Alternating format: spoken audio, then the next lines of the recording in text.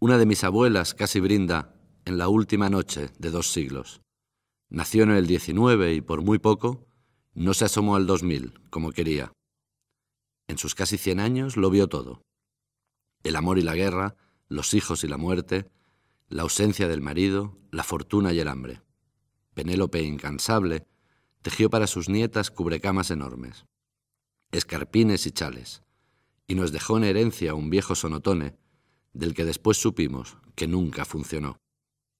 La que falta, la madre de mi madre, inauguró una estirpe de mujeres hercúleas que continúa hoy con sus hijas y nietas, mujeres de una pieza que lucen en su rostro orgullo y dignidad, que llevan en su espalda el recuerdo común de tantos muertos.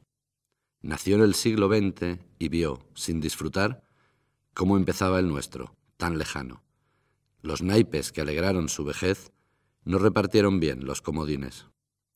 Es fácil encontrarlas todavía en las ciudades que las acogieron, compartiendo un café con las amigas, dictando una receta, cosiendo un dobladillo.